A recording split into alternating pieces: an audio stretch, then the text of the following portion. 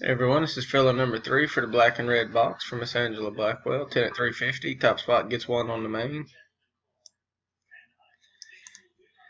Copy our list.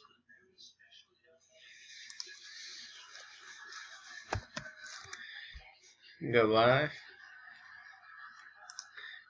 830 just rolled over 831. Paste our list. Roll our dice. Need a four higher. 831. We got a five. 831, five times.